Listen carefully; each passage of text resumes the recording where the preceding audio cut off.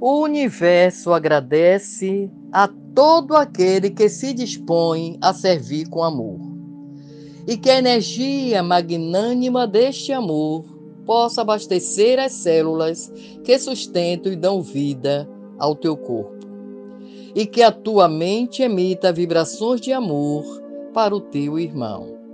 E que teu olhar registre sempre imagens de amor no olhar do teu irmão que o verbo que sai da tua boca possa estar revestido em cada palavra por este amor que é um bálsamo constante e acalenta a quem ouve.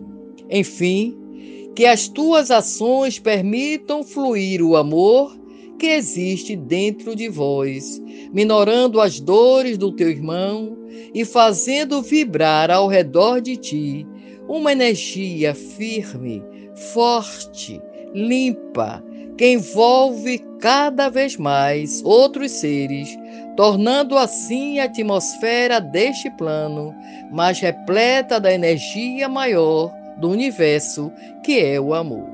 Que o amor esteja sempre convosco. Mensagem do irmão Natan, um dos mentores espirituais do GEDEC.